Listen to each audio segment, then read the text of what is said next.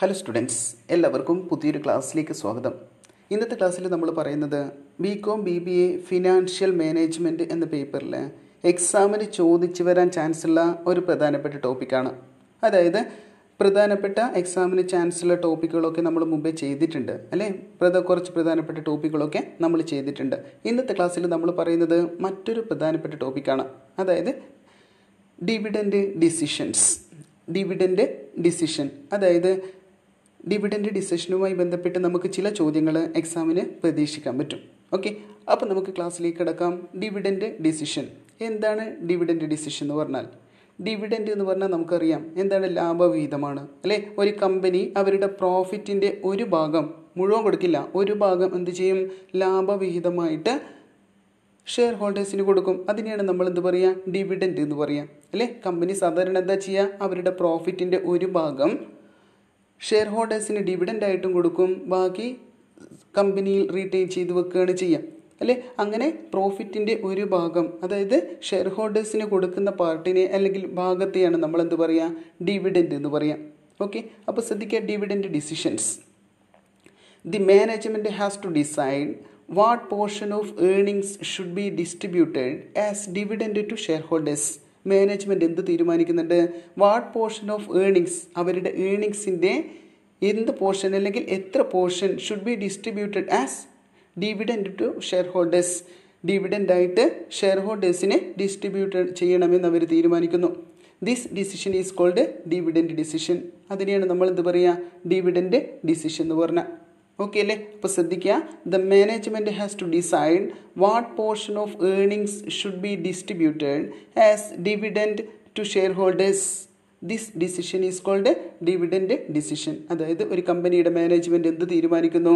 അവരുടെ ഏർണിങ്സിന്റെ എത്ര പോർഷൻ ഷെയർ ഹോൾഡേഴ്സിന് ഡിവിഡന്റായിട്ട് ഡിസ്ട്രിബ്യൂട്ട് ചെയ്യണമെന്ന് അവർ തീരുമാനിക്കുന്നു. ആ ഒരു തീരുമാനത്തെയാണ് നമ്മൾ എന്ത് പറയുക ഡിവിഡൻഡ് ഡിസിഷൻ എന്ന് പറയാം. ഓക്കെ അല്ലേ?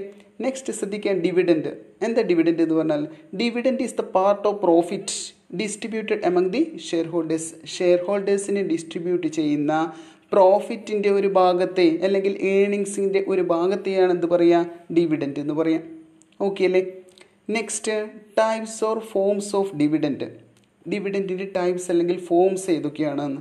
ഓക്കെ ശ്രദ്ധിക്കുക. First one cash dividend cash dividend എന്ന് പറഞ്ഞാൽ it is the dividend paid to shareholders in cash share ഹോൾഡേഴ്സിന് dividend എന്തായിട്ട് കൊടുക്കുക? ക്യാഷായിട്ട് കൊടുക്കുന്നതിനെയാണ് നമ്മൾ എന്ത് പറയുക ക്യാഷ് ഡിവിഡൻഡ് എന്ന് പറയാം. ഓക്കെ അല്ലേ?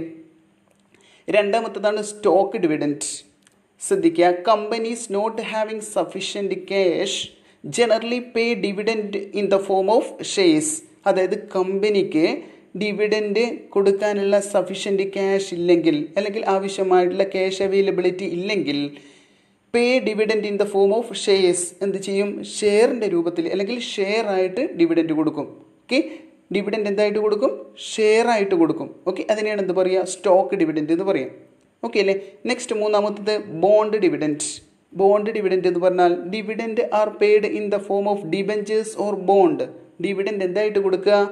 ബോണ്ടായിട്ടോ അല്ലെങ്കിൽ ഡിബഞ്ചർ ആയിട്ടോ ഡിവിഡൻഡ് കൊടുക്കുന്നതിനെയാണ് എന്ത് പറയുക. ബോണ്ട് ഡിവിഡൻഡ് എന്ന് പറയും.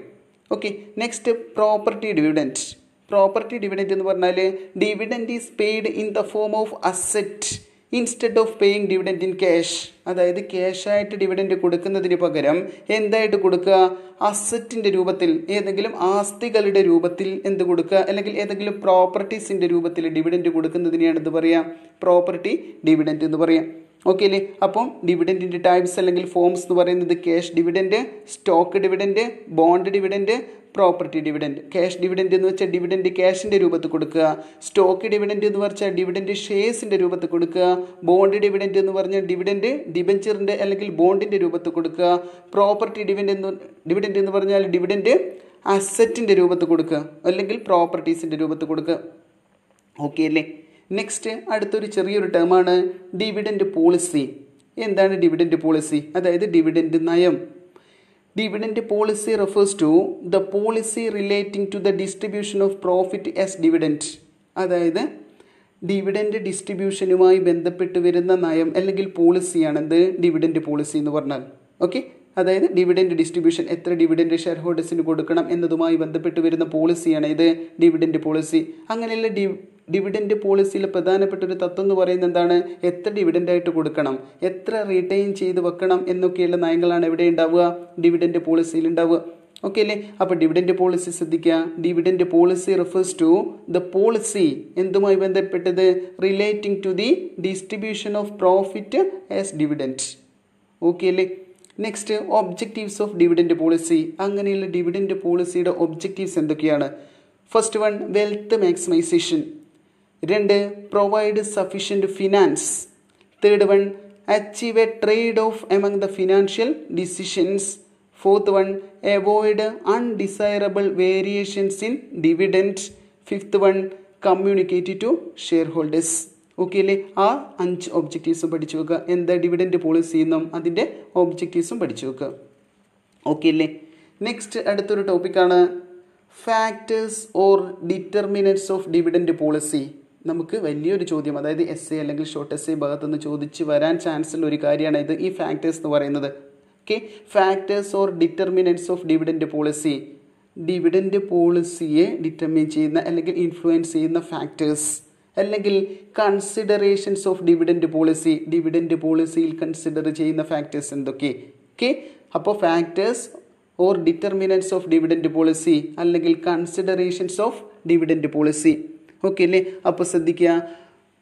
ഫാക്ടേഴ്സ് ഓഫ് ഡിവിഡന്റ് പോളിസി അല്ലെങ്കിൽ ഫാക്ടേഴ്സ് ഇൻഫ്ലുവൻസിങ് ഡിവിഡന്റ് പോളിസി ആ ഫാക്ടേഴ്സിനെ നമ്മൾ പ്രധാനമായിട്ടും രണ്ടായിട്ട് തരംതിരിക്കുന്നുണ്ട്. ഒന്ന് ഇന്റേർണൽ ഫാക്ടേഴ്സും മറ്റൊന്ന് എക്സ്റ്റേണൽ ഫാക്ടേഴ്സും ഓക്കെ? ഇന്റേർണൽ ഫാക്ടേഴ്സ് ഉണ്ട് എക്സ്റ്റേണൽ ഫാക്ടേഴ്സ് ഉണ്ട്.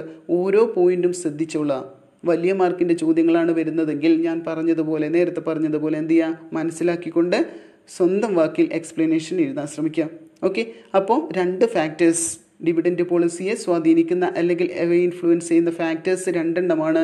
ഇന്റേർണൽ ഫാക്ടേഴ്സും എക്സ്റ്റേണൽ ഫാക്ടേഴ്സും ഓക്കെ ആണല്ലോ? അപ്പോൾ ഇന്റേർണൽ ഫാക്ടേഴ്സിൽ ഏതൊക്കെയാണ് വരുന്നത്?